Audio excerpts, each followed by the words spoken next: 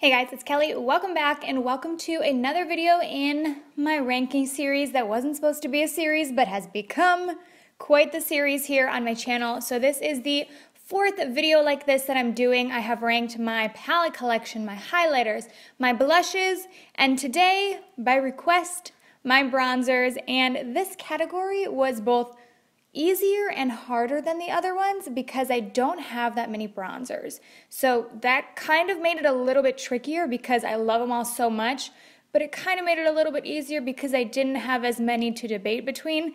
But I do have seven bronzers and I have one palette that is exclusively bronzers. So that's going in this ranking as well. So we're going to be counting down eight if you haven't seen the first three videos, I actually created a playlist for this series, so if you want to watch those, I will leave it in the description box down below, but let's get into the ranking. Now, before I share number eight, I want to remind you that I love all of these or they wouldn't be in my collection, so even the products ranked on the lower half, I still recommend and they're still high quality. But number eight comes from AOA Studios, which is the $1 brand from the Shop Miss A website. And this is a cream contour. It retails for $1 and the shade is Fawn. Now, the reason that I ranked it so low is because it's very, very cool toned and I'm not super into contouring, so I'm just not reaching for a product like this too often. But for that purpose, and especially for the price tag, it's something that I would recommend. So if you need a contour stick, this is a good one. I mean, it's pretty tiny. You're not getting a lot of product, so it's probably not valued too much higher than a dollar, but I do think that it is pretty high quality. Coming in at number seven is my bronzer from the brand 100% Pure. So I have the Cocoa Gem bronzer and I believe this is the lightest shade. No, this is the lightest shade, and I believe they have two shades. So I'm actually pretty close to hitting pan on this. This is one of my favorites. I actually do really like it. But again, I only have eight to rank, so they all have they have to go somewhere and I would realistically rank this a little bit lower than the others. It does have a really beautiful sheen to it. It's a little bit glowy on the cheeks. This is pretty pricey, but 100% Pure is obviously a very natural brand, so I think that's where a lot of the price tag comes from. The sixth spot is something from Fiona Stiles. So this is a brand that used to be sold at Ulta and they stopped carrying this brand about a year ago and I was able to buy this on an incredible clearance deal. I got this for like seven bucks or something super cheap like that. And this is a favorite in my collection, but I don't tend to reach for it too often because it's in a palette format and I'm typically reaching for single pans instead.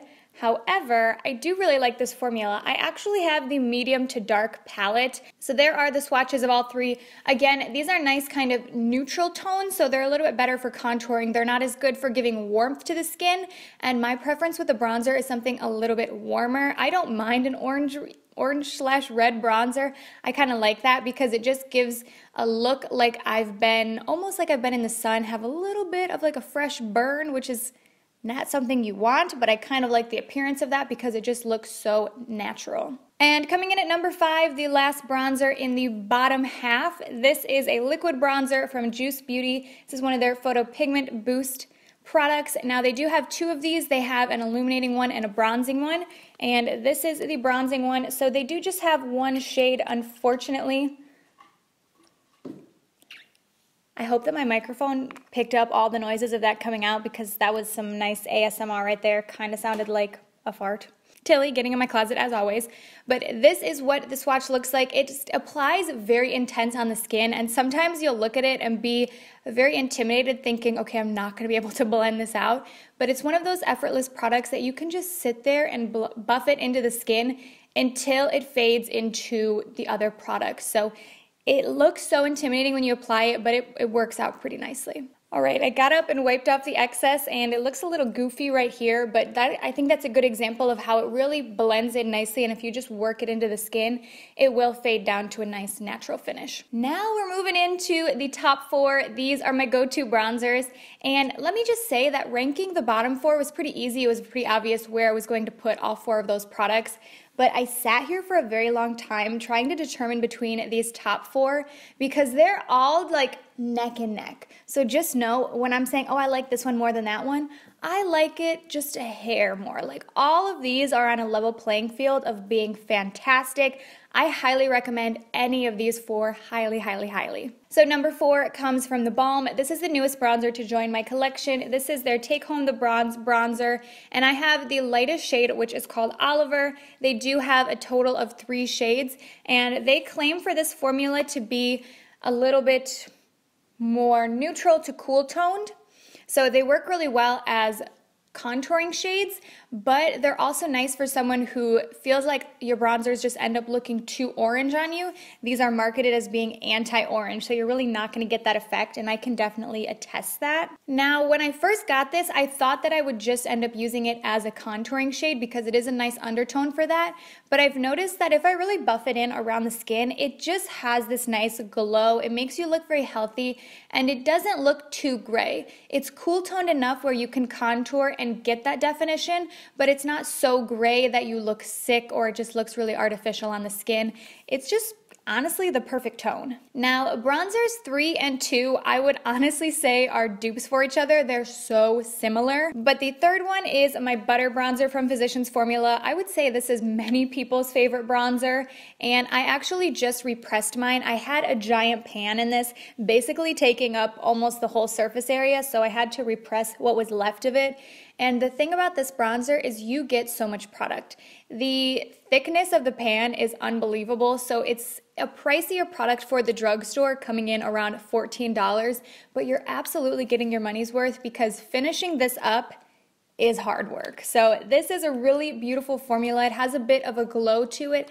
I like a bronzer that has a little bit of a sheen. It's not too matte on the skin, so it kind of livens up the skin and just looks like a natural warmth and sunniness on top of the face, and that's what I get from this bronzer. But I pretty much find that one to be a dupe for bronzer number two, but I like bronzer number two just a teeny, teeny, tiny bit more. Oh, I didn't swatch the butter bronzer. Let me go back. I'll hold you waiting for what bronzer number two is going to be. But if you watch my channel a lot, you probably already know what bronzer number two is going to be, but that was the butter bronzer. So number two is the Sunlit Bronzers from Becca. I do have a little baby pan on this up here, and I have the shade Bali Sands.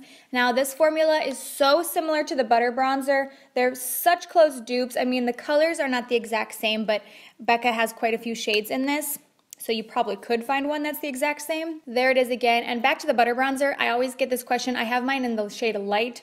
And then in the Becca bronzer, I have Bali Sands. I just find this to be slightly more soft when you dip your finger into it. I also find it to have just a little bit more radiance on the skin. It just gives you this stunning glow. It makes you look extremely healthy. So that's why I rank this just slightly higher than the butter bronzer, but they're neck and neck. And if this is out of your price tag, the butter bronzer is basically a dupe. All right, and the top spot. Now let me preface this by saying that this might not be for everyone because my number one bronzer is a cream bronzer. And that's just my preference. I love a cream on the skin. I think it just looks a lot more natural. But if you prefer a powder, I would definitely recommend the other ones that I talked about.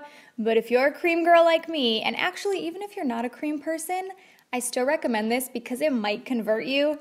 This is the Milk Makeup Cream Bronzing Stick, and I have the shade Baked. This does come in two shades, and this is the most effortless cream formula that I have found. So you can apply this directly onto the skin. I know it seems gigantic, so you probably won't want to place it down and draw it on that way, but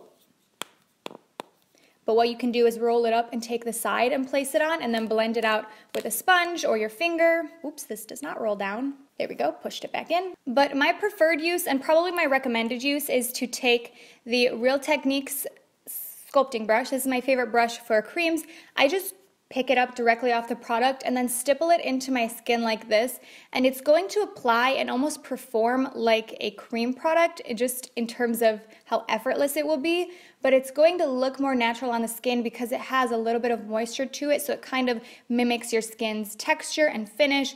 And it's especially nice if you have dry skin. So that is Easily my number one, didn't even have to think about it. But since this video was so short, I did kind of want to throw in some honorable mentions because there are two bronzers that I finished up in 2018 and I thought maybe you'd like to hear my thoughts and where I might rank those actually. So the first one that I finished up was the Too Faced Milk Chocolate Soleil Bronzer.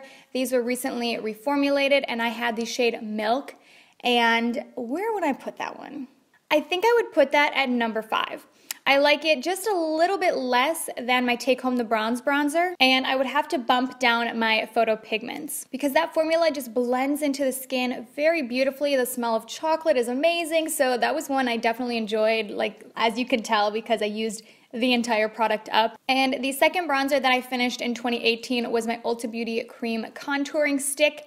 And that one I would have ranked probably just below the Too Faced one because until I discovered my Milk Makeup bronzing stick, that was my favorite contouring bronzing stick cream stick, what am I saying, formula.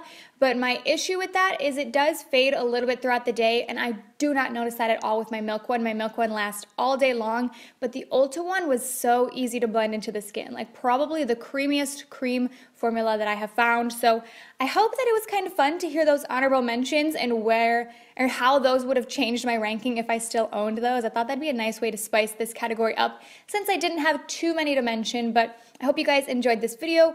Which item should I rank next? You guys have been giving me a lot of great feedback.